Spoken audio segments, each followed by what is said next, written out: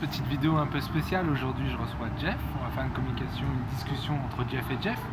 On va parler un petit peu de psychologie. Donc, j'ai demandé à Jeff de choisir un concept qui va pouvoir nous présenter, qui va nous expliquer justement à propos de la psychologie.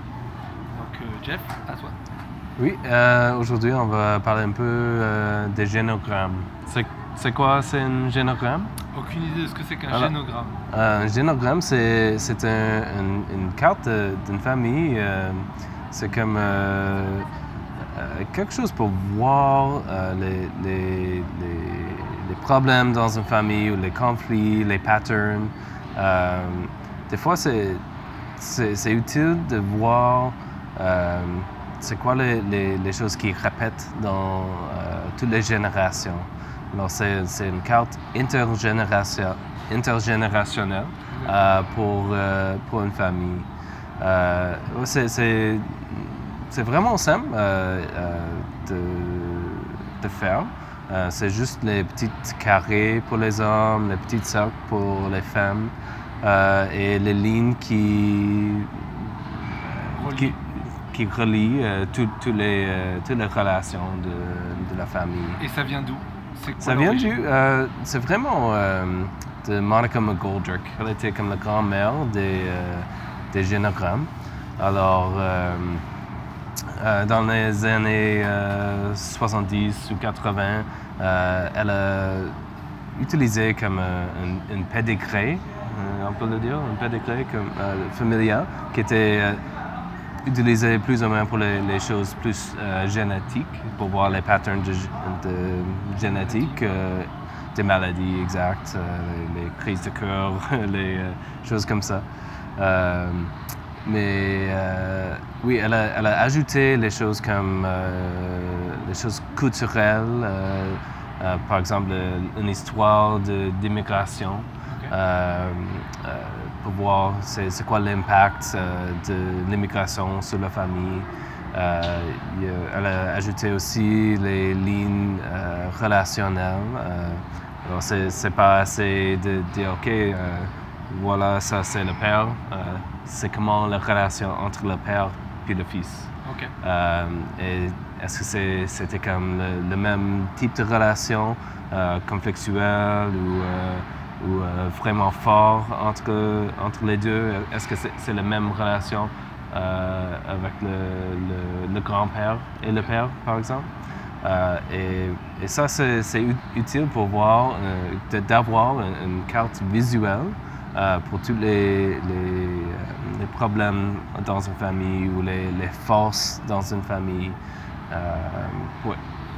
Donc cette carte, euh, cet arbre généalogique qui permet de savoir si mon grand-père était en conflit avec mon père et mhm. qui explique pourquoi moi je suis en conflit avec mon père, est-ce que ça peut expliquer des comportements que je peux avoir avec des gens que je ne connais pas? Par exemple, j'ai pas connu mon grand-père, il est mort, pourtant ma mère me dit je ressemble à mon grand-père. Oui, oui, oui. Parce que, par exemple, dans, ce cas-là, ça pourrait... Euh, par exemple, ta, mère, si elle, voit quelque chose dans, toi qui est un peu comme son père, euh, elle va agir différemment euh, avec toi. Euh, elle, va comme te traiter un peu comme ton grand-père, par exemple. OK.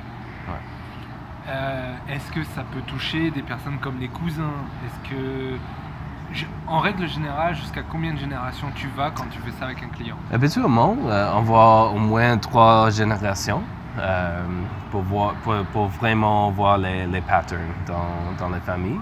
Euh, et certainement les cousins. Mais c'est pas juste assez important de voir la, famille d'origine comme, comme la famille immédiate. C'est important de voir les gens avec qui n'a aucune connexion, peut-être. Euh, parce que les gens qui sont pas là, ils ont un impact sur toi aussi. OK. Ça fait du sens. Comme, par, exemple, on, voit souvent dans le milieu euh, où je travaille, comme avec les, familles, euh, on voit souvent juste une mère monoparentale avec les enfants. Et Et euh, souvent, elle dit que ah, le père, il n'était jamais là, il n'est pas important. On ne parle pas de, du père.